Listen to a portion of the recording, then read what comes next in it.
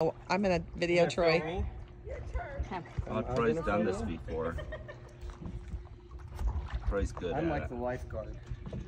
I like riding farther back on the board, but Yeah. I'm too far forward, you think? that's me. Oh yeah, I gotta turn around and watch Troy. I'm gonna oh. I'm gonna ease you out. I just don't want you to fall into the boat. And then I I brace myself like that, Troy, and then I just take baby steps backwards. Yeah, that's the problem with going backwards. Yeah, but if you're okay right Or, where you're or at, you're just stay okay where that you're way. at. I'm just telling you how I like to ride. But Bryce is heavier and it tends to, it just works better for him. Because it lifts the board more up out of the water, I get less friction on the bottom. But it's fine where you're at. Just paddle. I probably have 60 pounds on you though. I doubt it. I'm a paddle man. I like this a lot better in the lake than the ocean. Oh, I was like, you're in a lake.